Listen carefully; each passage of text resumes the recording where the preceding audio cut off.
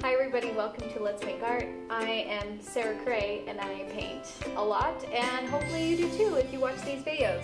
We do a different watercolor project every week and this week we are doing a pickup truck with a Christmas tree.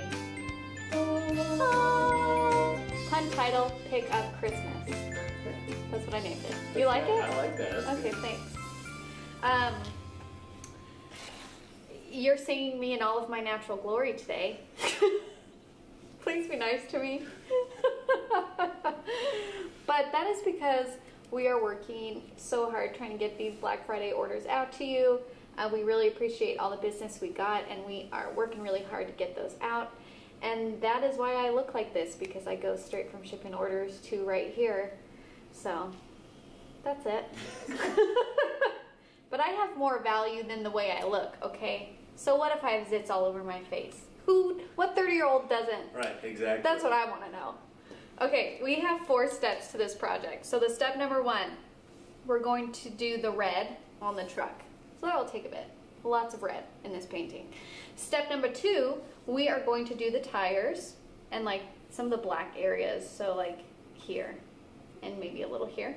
Step three, we're gonna do the tree. And step four, Should I say details? That's my line, details. Details, step four. Keenan nailed it. Good job. Thank okay. Um, so that's not that bad. This might seem scary. It's not. Also, you don't even have to use red for this project. One time I did a vintage truck for my father-in-law for Christmas using coffee. A lot of fun. He loved it. Just ideas. Okay, different colors you can do. But we're using four colors for this. We are using black, red, pine green, and dandelion yellow. So I think those are the exact same colors for the cardinal. Um, so great. We're ready. We're ready to go. We're ready to paint. If you don't have any of these supplies, oh, we're using a round two and a round six. These are my go-to brushes. They're excellent. If you don't have any of these supplies, you can get them on our website, letsmakeart.com. We have a kit. We have a monthly subscription box. We have a plethora of art supplies. So take a gander, you know? Maybe you can find something you like. Okay, we're gonna start with step one. Sorry. Step one, we're going into our truck.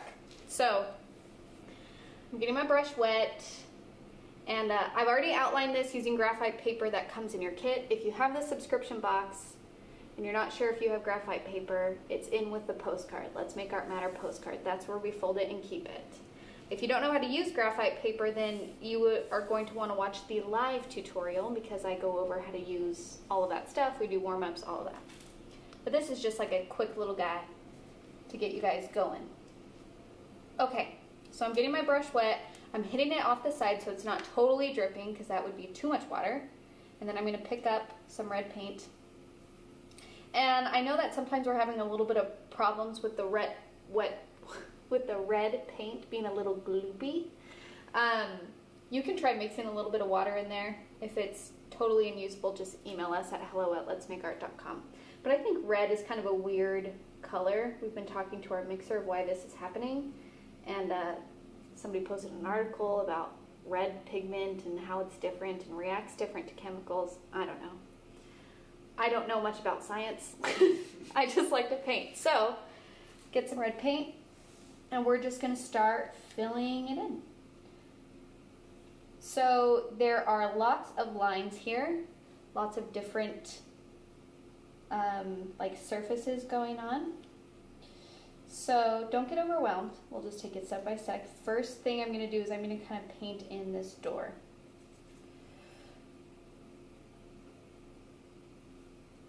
And of course, you can use whatever supplies you have because everybody has access to these videos. I don't know if you guys know that. Okay, so I'm going to start in filling in the door. Now, one thing I want you guys to notice is kind of where it hits. Keenan, maybe you'll know this. What is this part of the car that goes over the wheel? Is that a, is that a special word? Part of the car? I want to say wheel well, Wheel well? wheel well, and the wheel well, but I don't want to also sound like a guy who doesn't know what he's talking about. So, Well, I think it's the wheel well. So, I also want to say fender, mm, but there's a bumper, there's a fender, wheel well, so I'm never sure. I think the fender is the front. That's what I thought. Bumper would be back. See, that's why I say I don't want to talk. Well. Keenan's like, please stop asking me questions. I'll- I'll I don't know the answer to I'll anything. research. Okay. So because we have that, um, we we kind of want to show that this part is sticking out from this red part. So we're gonna put in a little bit of a shadow right at this line right here. And by putting in just a little bit darker value, I mix a tiny, tiny bit of black in there. Then you're gonna get um, a different value, and then that's gonna make this part pop and this part recede if you put a darker value on something. So, and there's a little handle there, and that's why that's white. So just like the tiniest bit of shade darker. And you'll notice that as we go through this truck, the red truck, there's gonna be multiple times where we're adding a little bit of shadow or adding a little bit of highlight, and that's because we want this truck to be as three-dimensional as possible. And so paying attention to those slight value changes, that is what's really gonna make your truck pop and seem like it's actually there instead of just two-dimensional flat on a piece of paper. So put those in. And really that's like what art is about, like being able to replicate nature well or what you see well is paying attention to those small changes in value and replicating them, which are two different things. Being able to see them and then being able to paint them. Okay, so then I'm gonna do, is it called a wheel well? It's a fender. This part is a fender? Yeah, the the fender is is designed to. It frames a wheel well. So the bumper. I feel like that should have been more helpful, but I don't understand still. I can show you a picture. yes. So this round part is called a fender. Yep, and then you've got the front bumper and the rear bumper. There are also Oh. for bigger trucks. There are uh, what they call them. It's gonna be really simple: trailer fenders and flatbed fenders. Okay, okay, okay. Let's not go crazy here with all the information. Keenan, much, too much. calm down. I can only handle so much. Okay, fender. That's what this is that we're painting. Now, as I'm filling this in, there's gonna be some sections here and that I'm gonna leave white. And the reason why I'm gonna leave that white is because that's gonna be our glare because this is a shiny, nice little car. Also, I'm going to leave a tiny thin line in between this red and this red, and that's because I just don't want them to bleed together. So I'm just going to kind of avoid some of this area. Now over here it's a little bit more dry, so it's okay if I touch that. But right here where it's dark, I'm not gonna wanna touch that, at least not yet. There. And we're just gonna keep on keeping on. Just trucking along. Just trucking along. Keenan? Yes. That was good. That was a good one.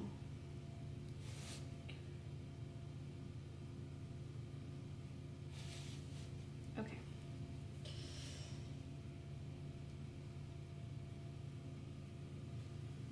Okay, so I left my highlights here on the top. Now we're gonna move to the back. Now, the back part here on the truck, there's like, you know how on cars they have like different design things that kind of pop out just a little bit? That's what's going on here on this truck. Can you imagine it on a real truck? I think so. Okay.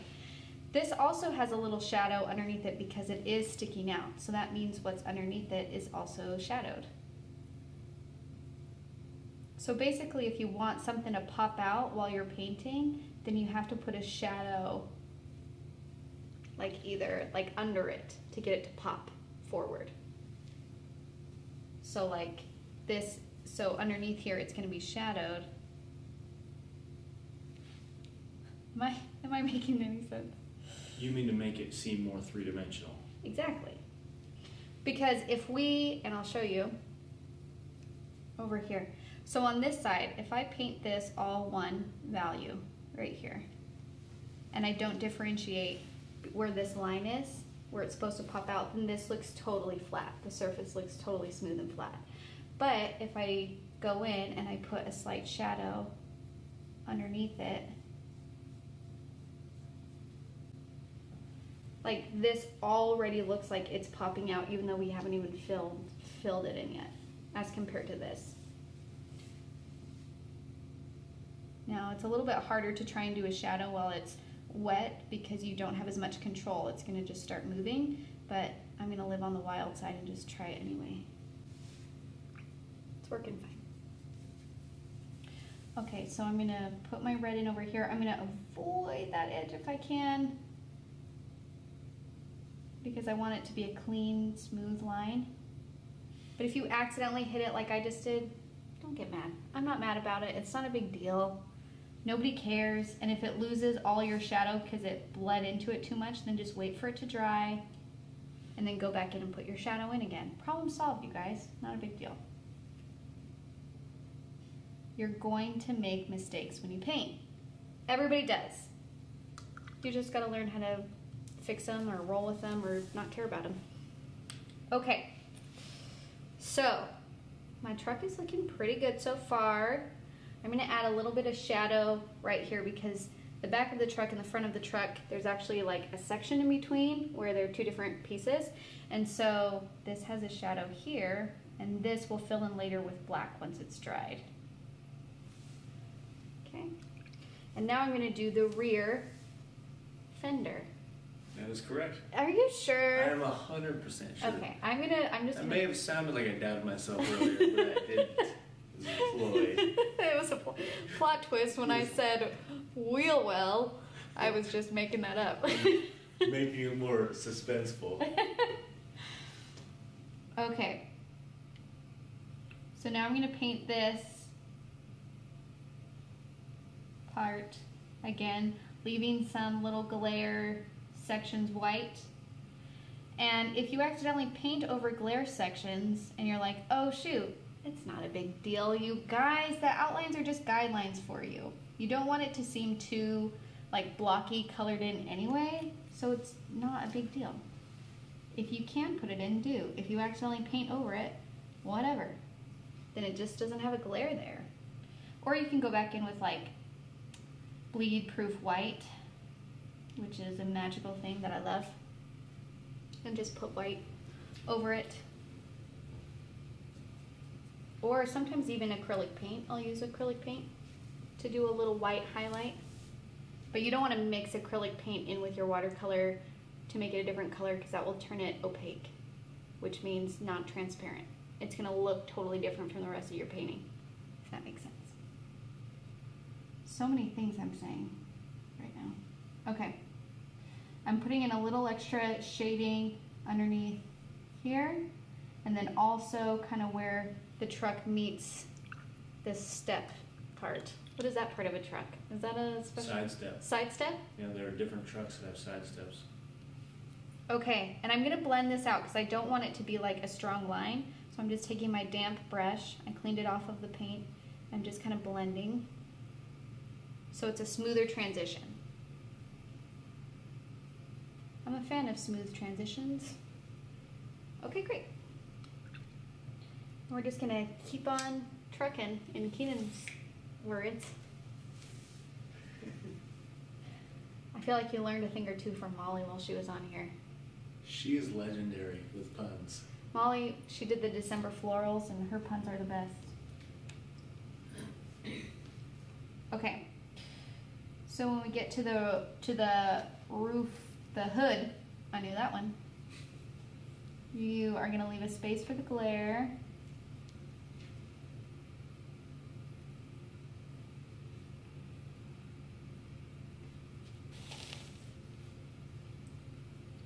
just want to laugh real quick. These are the most basic parts of the deck. I know. it's so embarrassing how little I know of basics of life. I never realized it until I'm literally recording myself talk. And then I'm like, what am I what am I even saying? I should be so embarrassed. so funny. You're like, I just want to point out that everybody should know these things and you don't. That's okay. Mostly pointing it out for myself as well. Well, at least we can laugh about it, right? Yes. So on the back part of this hood of, of the cap Yeah. of the truck, right here, this is a really thin red line. So just make sure your paintbrush doesn't have too much paint and water, because then you it'll be a harder time getting a thin line. And you're just going to like just barely just boop, put that little thin line in.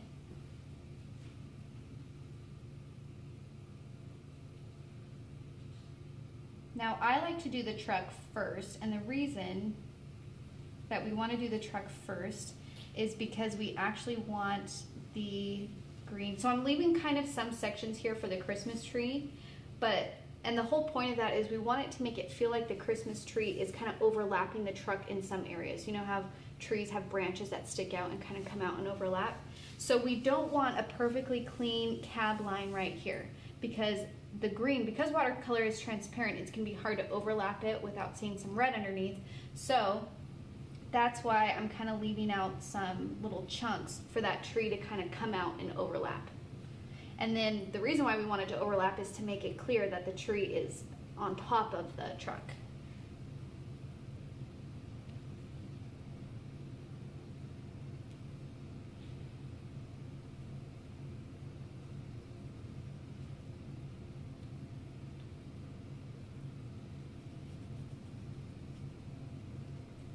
Okay, you guys, you're doing great. We're still in step one. I know this is a long step, but it's okay. It's just, it's just, you know, putting red stuff in. It's okay. And then same thing on this, the bed of the truck. If you can a little bit, just have your tree kind of overlap just a little bit.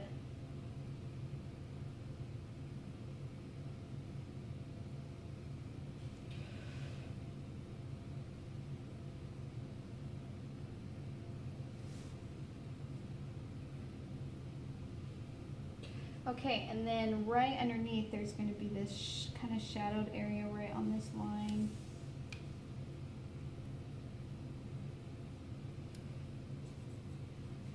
I'm going to go back and put the shadow in on this side that I lost because it was wet.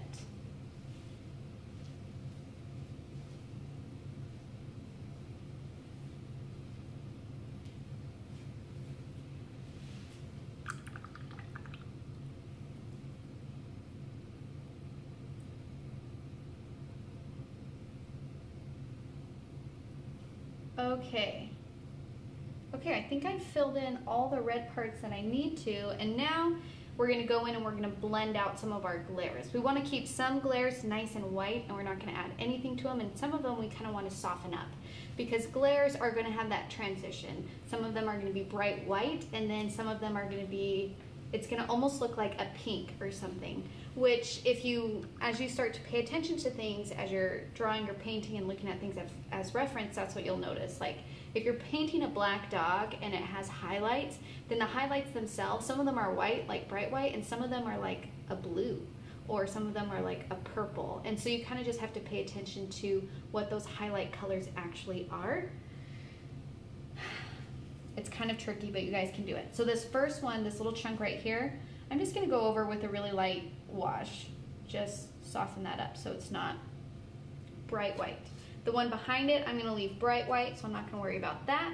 This one over here, I'm going to soften up. Down here, the front of this one. And this, this one can be a little bit more random. It doesn't have to be like two-thirds of this line has to be soft pink or whatever. It doesn't really matter.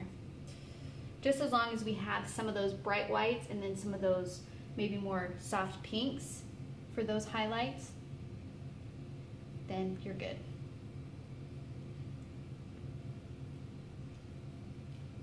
And then also on my truck, right underneath this tree where these branches are gonna be, I'm gonna put a little bit of a shadow underneath here. So a little bit of a darker value. And that's because if the tree is overlapping the truck, then it would cast a shadow on the truck, the tree itself would.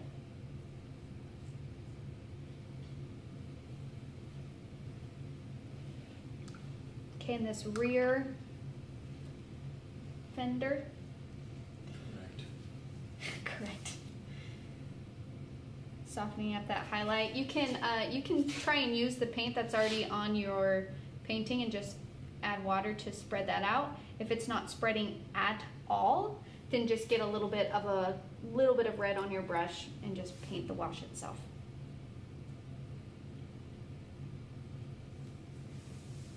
And this one I'm just kind of making a little bit more red around this highlight.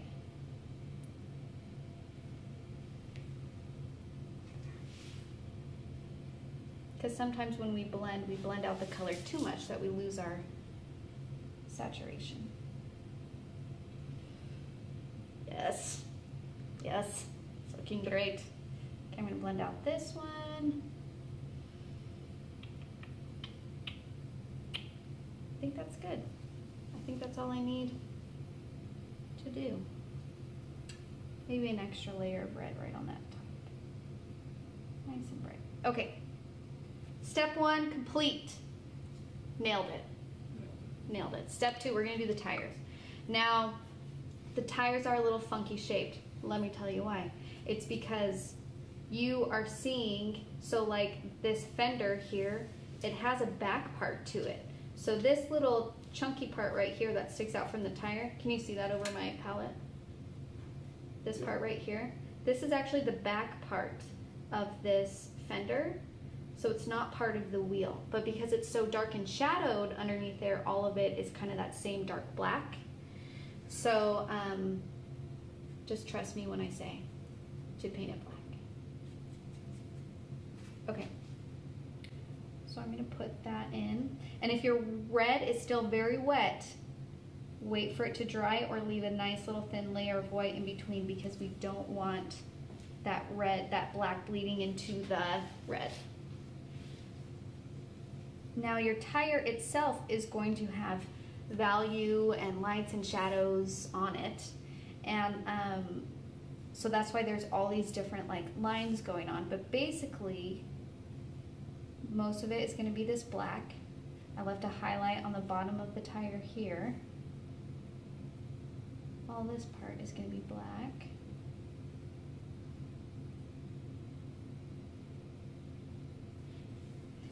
And I know it's super hard tracing like perfect circles without them getting lumpy. So if it's easier for you to like, I don't know, take a lid of something and draw a circle so it's a smooth circle, go for it. I do that sometimes. And then for the middle part, I'm just going to kind of do this and then I'm gonna blend it out after it dries. So we're gonna leave that for a second and let that dry and we're gonna move on to this part. So I'm gonna add black here, kind of right where it's meeting the truck, and then right at this bottom. Again, thin lines. You want light pressure. It's easier for me to go horizontal, but some people like to go up and down, so turn your paper whatever's easier for you. And then I'm gonna actually make thin lines on my, um, what is it called? The step, the side step? Well, I thought you were referring to a side step originally, but that is just a step. Oh, it's just a step? Okay. So the step is what we're gonna do, because you know how they have that like ridges in them for grip? That's what we're painting. So it's just a little, just a couple little lines. But it's gonna be the most black kinda at this front. Then we're gonna let that dry, we're gonna move on. And the reason why I like to let things dry is I actually like to use a lot of the color that's there and blend it out. And if you do it while it's still wet, then it just blends it all out and it just becomes the same value. But if you let it dry for a second and then try and blend, it's a lighter value so you have your dark and medium value right there just by doing that. Okay, same thing on this tire. We're seeing the other side of the fender wheel also tires they're circular but they're like thick so it's a circle and then it's like a thick line around it. You know what I'm saying. You've seen tires.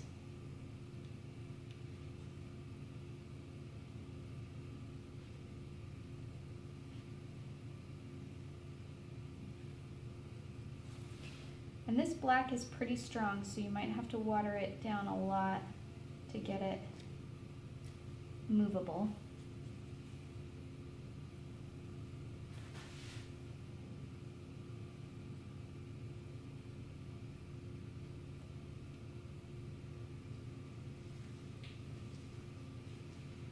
Same thing on this one, we're gonna go back in and put the grays in.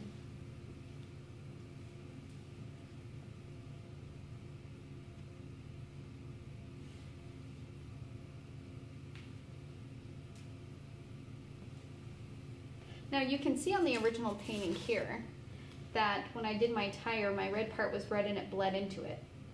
But who cares? Nobody, I bet you guys didn't even really notice that until you were painting that tire. So don't get mad if that happens to you because it's just part of it. It's just like water and the color have a mind of their own. They're going to do what they want to do. And sometimes you just got to, you know, let them.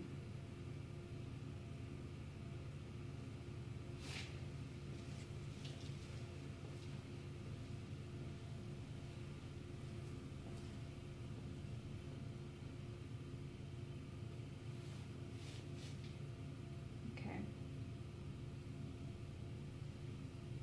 Okay, I'm gonna let that dry for a second. Now, there is a very thin layer of black on the inside of this window. So just, if it's easier for you to use your round two because it's a smaller brush, please feel free. I'm gonna just be crazy here and use my round six. And I'm gonna hold my breath. Nailed it.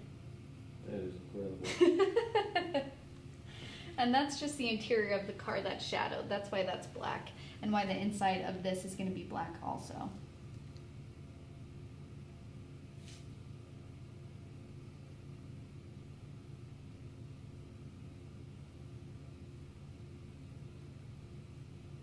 Now, um, when I was making my drawing, I did an extra little line right there when I was tracing. So I'll probably just go back and erase that when I'm done painting. So I'm just gonna ignore that. That's why that line's there. It, it shouldn't be there. Can they see that even? Yep, you can. Just ignore that. That was just a mistake on my part that I'll erase. Okay, now I'm gonna do the black part in between the front and rear part of the truck. So it's just a little separation. Try and keep it thin if you can.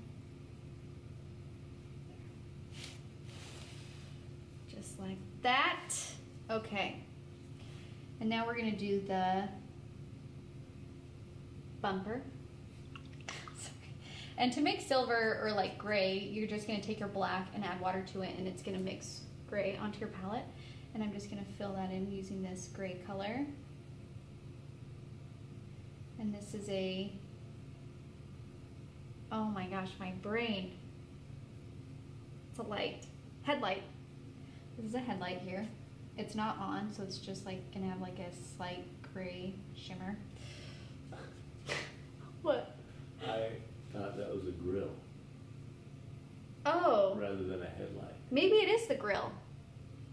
I don't know much about cars. Is it the grill? Yeah, because on an old truck like this, I'm pretty sure the lights would be kind of sticking out of the front of the fender, Oh. and the grill would be up on the nose like that. Okay, this is the grill. Keenan, thank you for that information. You're welcome. And these don't have to be particularly detailed, just a color there. And then now I'm gonna go in and um, wash out some of my tires. So you just want it to be a lighter value here. And then we'll blend this in. And then the very middle part, this is the part that's gonna be the lightest. Right there. And again, if you blend too much and you lose your, your dark values, then you can always wait till it dries and put them back in. So don't get mad at yourself if you blend them out. Just wait a second, put them back in. Same thing on this one. blend them out.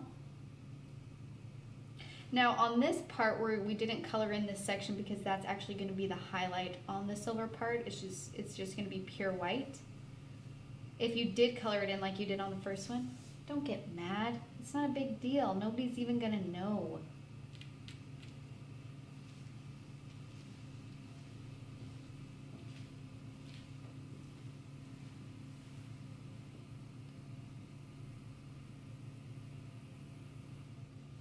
Okay. And then we're going to blend out the step, which is just a step that I've learned. No special fancy term for that. Or so Keenan tells me if I'm wrong. I'm blaming you. I can take the blame. okay, great.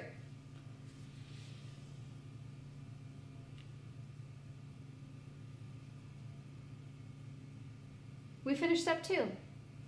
You guys, good job. Now we're moving on to step three. Now we're going to do the tree. And I just want to talk to you guys for a second about this tree. Because here's the thing when you paint or draw trees, you are going to think trees have a billion little leaves and a billion little needles. And how do I communicate that without drawing a billion little things?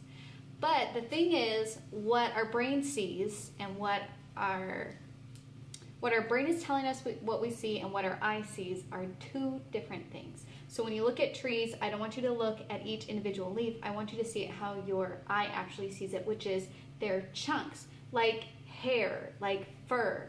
It's all of these tiny things that gather together and create bunches, and then those bunches create shadows and sections.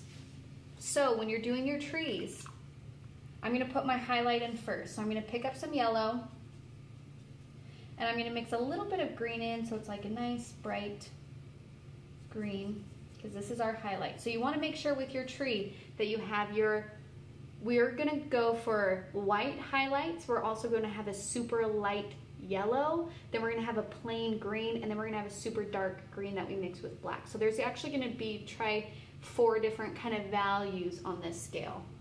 So I'm to go in with my like lime green here and just around in these sections, I'm going to be doing these kind of swoosh marks. Now some of these I've outlined to leave to remind me to leave some white spaces. Now if you go too crazy with highlights, it's not a big deal because you can always cover them up because they're lighter. But basically, and you don't want just the highlights on this side. You also want some coming towards this side as well. Now this corner is not going to have any because it's getting shadowed by being put into the trunk, but they don't need to be just on the top. They can be kind of towards the middle as well. And it's more random, and you might be like, I don't understand why you're painting that one specifically. It, It's just, it's random, and I just want to do it in kind of sections. So here's some sections here, okay? So there's my highlight for my tree. Now I'm gonna add some green. And I mixed a little bit of yellow with it just because I like a warm green as opposed to a cool green, but that's my personal preference. So then I'm gonna start putting those in and I'm gonna work kind of underneath the highlights a little bit. Again, still leave some white spaces though. You don't wanna totally get rid of all the white that you have going for you.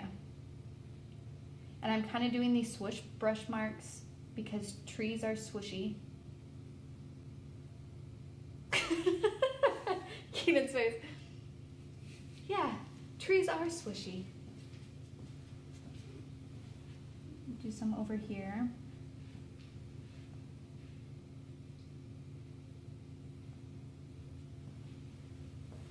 And you might be like, this doesn't look like a tree. Hold on, it will get there, okay? Just believe me.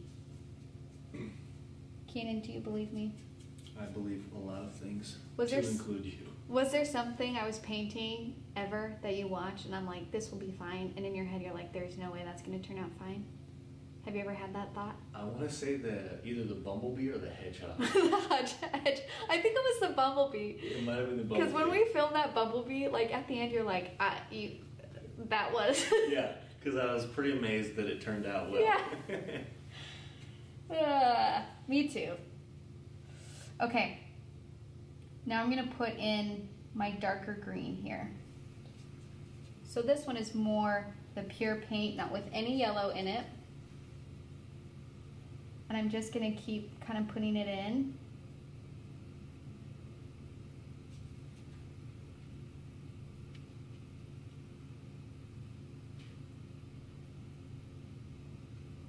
And don't forget, you could also just use some water to spread some color around. You're gonna get some different values that way too. And then I want you to make a darker green. So you can either mix black or if that's just like too gray, you can mix a little bit of red in.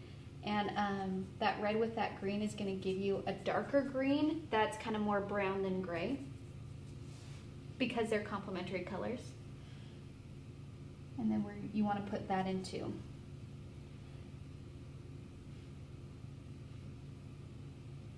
And I'm and because these are kind of sections, they're gonna have some shadows out on this side too. It's not only on this corner, it goes across the entire thing.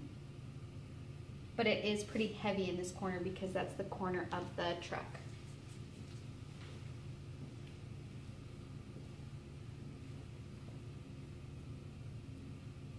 And of course, if you're if you're struggling, take a break, look at it from far away or walk away from your desk and come back to it sometimes when we're looking at something for a really long time, it's difficult to actually see what's going on because we're so in it and so focused and so, you know, all about it.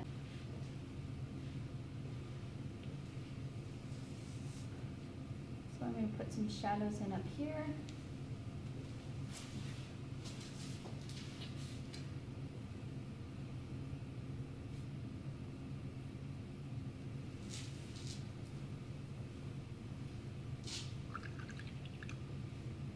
So I put my shadows in and then maybe just put, see if I can just drop some strong color in places because that's what I like to do. And then another thing you can do to add some texture onto your tree is taking your round two, you can go along the edge because the silhouette of your tree is going to have more of those tiny little spikes of the pine needles because it's the actual silhouette. However, I strongly encourage you not to just like all the way across because that is going to totally kill all the form that you just made with your values. So it's a little bit more random. So it's like, here's a couple sticky outs. And you can change up values too. Some of them can be darker or lighter. And then here's a couple that just stick out. And then here's some that stick out. And over here.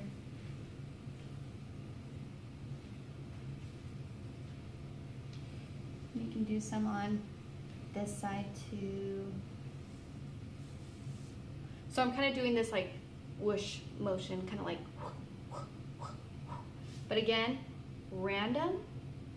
Because if I tried to do this tiny little motion across the entire thing on the edge, it would just, it would just destroy the shape of my tree. That was a little dramatic. Your tree wouldn't be destroyed. It just uh, couldn't be as real as maybe you would want it to be. And then maybe also kind of where it overlaps the truck a little bit because there are going to be little individual branches. So it's going to be like kind of coming out this way. Maybe this is coming out here. Some over here. So just play with it, but keep in mind, try and have those four different values there with leaving some white here and there in some places to act as your like ultimate highlight. Ultimate highlight. Can you do that big when you edit this? When I do this, can you put text that goes? Okay, great. I may distort your voice too. okay, please do. Ultimate. Ultimate highlight.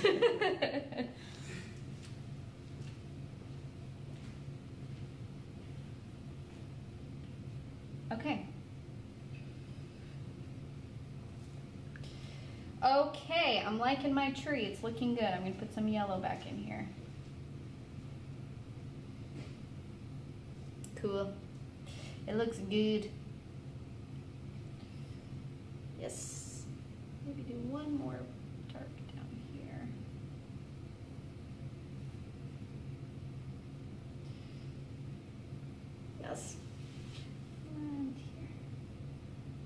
Now I will I will admit that the hardest thing about painting on video tutorials is like I can't like get up and walk away and then come back to it because I really do that when I paint in real life. So please give it a shot. Um, it's very helpful in terms of composition and color, helping you see what's actually going on in your painting. So do it. Just give it a try. Also, somebody on our Facebook group, we have a Facebook group, it's called Let's Make Art Together. It's pretty amazing. Um, somebody said that they, when we, they did the cardinal, she just tried to keep up with me because a lot of people, because I paint really fast because I've been doing this for a long time. And she said it was actually kind of really helpful just to like go um, because you just like have to make decisions quicker. And she said she kind of liked her painting because what she said, I think it was Debbie, I want to say her name was, but I don't know. Debbie, sorry if I got that wrong. But she says that she liked it a little bit better than the other paintings that she like took so long for because it was just like quick. Because sometimes when you spend two hours on a painting, you have a higher expectation than when you spend 30 minutes on a painting. But when you just like paint it quick, let's say you did this in a half hour and you didn't like it, you're like, oh, it was just a half hour and I was just doing it quick and fast and I learned some stuff. Whereas if you like just sat there forever and hours and it didn't turn out, you can be kind of disappointed.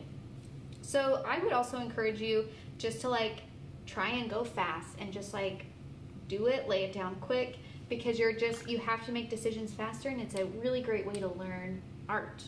That's what we do in art school. Is teachers set timer and they're like you have 30 seconds to draw this person. And you're like, okay.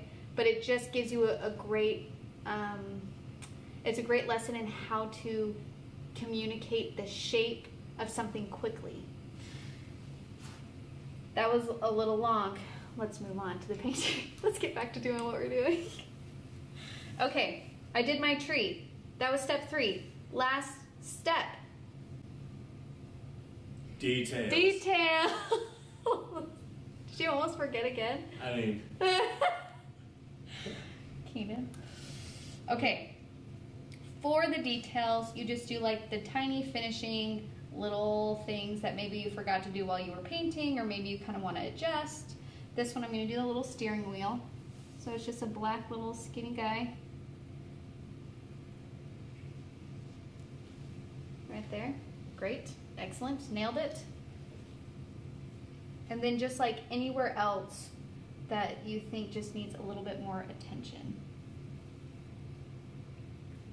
I'm to kind of work on my wheels a little bit. Kind of put back in some of that darker value that I lost. While blending, whilst blending.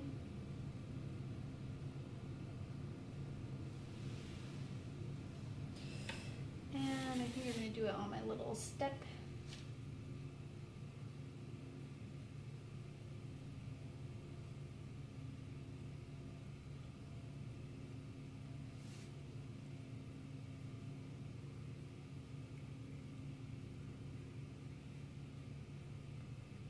And sometimes with these paints, um, if you're using just the paints and not a lot of water, you're going to get some fuzzy edges which it was happening. You can kind of see that in my tree right here.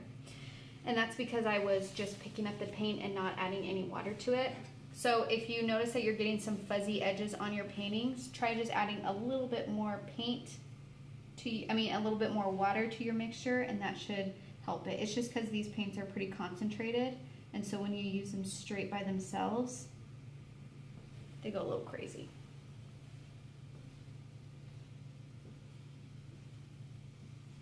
Okay, trying to think if there's anything else I need to do, but I don't think so. I think it looks pretty good.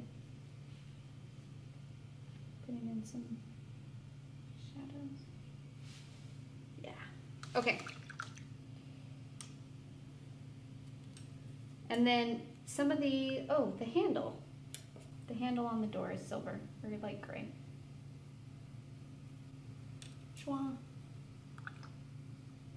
And then some of these white edges I left white so they wouldn't bleed together.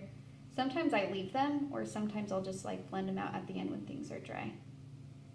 Up to you. Your choice. Okay, you guys, we did it. Good job. You nailed it. I can't wait to see how they turn out. Um, if you paint it, share it. Uh, we have a, I already talked about our Facebook group. I will until the end of time. It's called Let's Make Art Together. You do have to request to be a part of it. And we ask for a joke when you join, and it is the best decision we have ever made as a company because I get these great jokes daily. Anyways, back to what I'm saying. Um, you can join there and post your work, and you can see what other people have painted. Now, um, I've noticed that there have been a couple comments lately about how like people are intimidated to post their work because the people posting um, seem to have more experience. First of all, let's make art together. It's a safe space. Don't feel that way. Second of all, usually people only post when they feel that confidence. So it makes sense if people have a little bit more experience with watercolor that they're a little bit more willing to post their work because they've been doing it and they feel more comfortable. And I totally understand that feeling, but if you're a beginner, just like push that insecurity away and just post it and just be like, this is what I made, um, this is what I learned, blah, blah, blah. Because the more comfortable you are with posting your work, the more you're to be excited to share it, the more you're to be excited to try new things. Um, people have been posting the cardinal and doing a bunch of different versions with it, and it's been so beautiful to see what everybody has made. So just go there, take a look. If you feel ready, post it. Um, and if you do it on Instagram, you can tag us in it. Let's go make art. Next week, we are painting Winter Snowstorm. Bye. now, just a reminder this one we are only doing a recorded tutorial for. We're not doing a live of this painting because that is Christmas. Christmas or Christmas Eve?